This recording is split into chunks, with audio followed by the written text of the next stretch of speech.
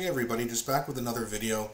Um, I know it's you know it's not quite April 1st, it's only March 28th, but or sorry, March 29th, but the thing is we're very close to this 23% carbon tax increase and I just wanted to talk about, you know, an idea that people had that I've heard of and you know, at first I kind of thought it was a good idea, but then the more you think about it, you just realize that, you know, for example, holding back on buying gas so fill up on March 31st, and then that way on April 1st, when the carbon tax increases, no one's going to be buying gas.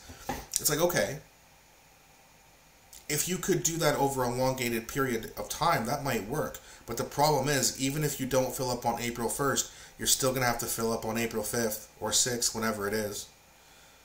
Gas companies and the government, they can, you're five or six day long protest, although it's a, it's an idea, I personally don't have a better one, so I'm not trying to criticize it too hard.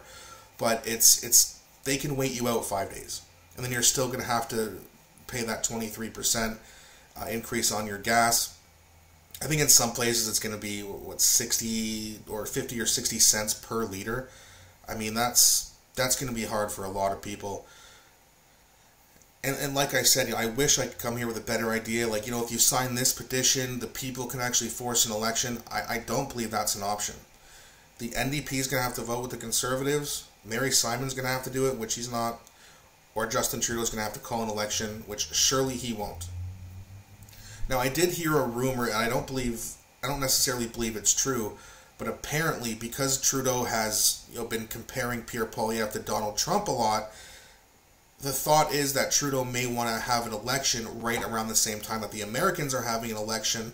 That way, everyone's focused. You know, everyone who hates Donald Trump is focused on it, and then Trudeau's gonna be like, he's just the same. He's just the same. And if some people believe that, you can start to see the the polling numbers kind of uh, balance out a little bit more, if you will.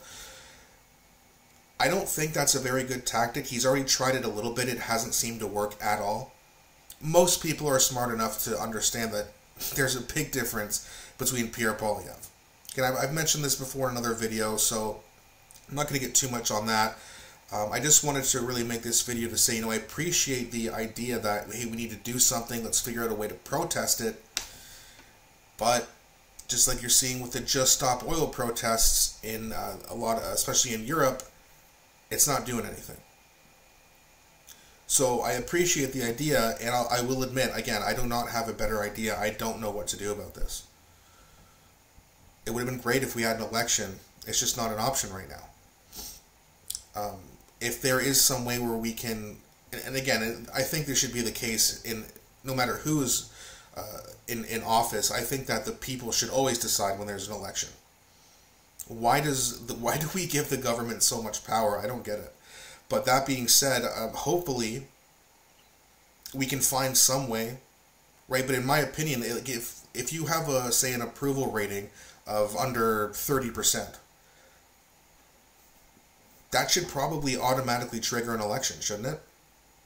Maybe I'm wrong, or maybe you have to go to 25 or 20 percent, because I know with all the different parties, you know, if it's like no one even really gets 50 percent that often, if ever.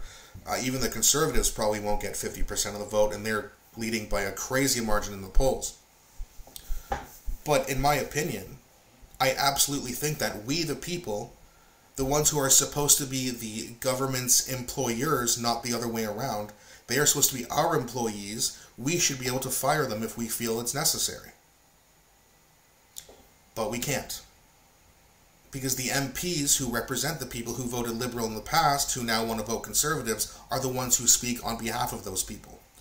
And I understand that that uh, that process, but when you vote for an MP, that shouldn't mean they get to speak for you uh, to you for four years. They shouldn't be speaking on your behalf for four years because a lot can change in that time. It should be put on us. Approval rating falls below a certain threshold, whatever that number you need it to be it should automatically trigger an election so that if we need to fire a corrupt, communist, tyrant wannabe, we should be able to do it. What do you guys think about that? Let me know in the comments section. Uh, I'll be back with another video shortly, and don't forget to subscribe.